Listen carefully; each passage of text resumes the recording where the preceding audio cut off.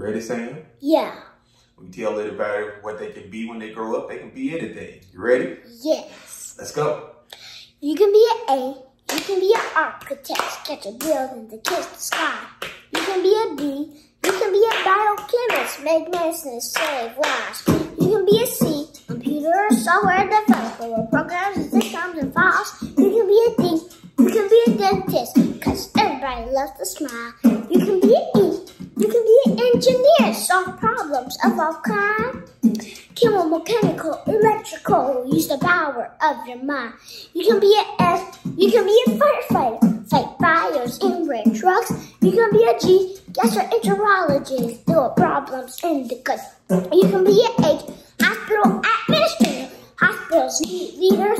You can be an I, intelligence officer, You have the FBI kind of people. You can be a J, you can be a judge, help people who seek justice. You can be a kindergarten teacher. Those kids are young and restless. You can be an L, you can be a lawyer, cause people need to know their rights. You can be an M, mobile app developer, like the people that made Fortnite. You can be an N, you can be a nurse, medical kit for the masses. You can be an O, optometrist, for people that need eyeglasses. You can be a P, for medical emergencies. You can be a Q, quantum physicist, for particles and energy.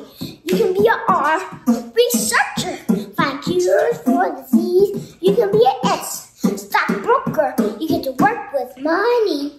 You can be a T, truck mechanic. Trucks are critical transportation.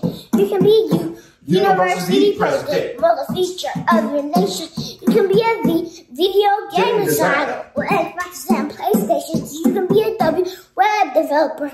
It's an online occupation. Now take that S.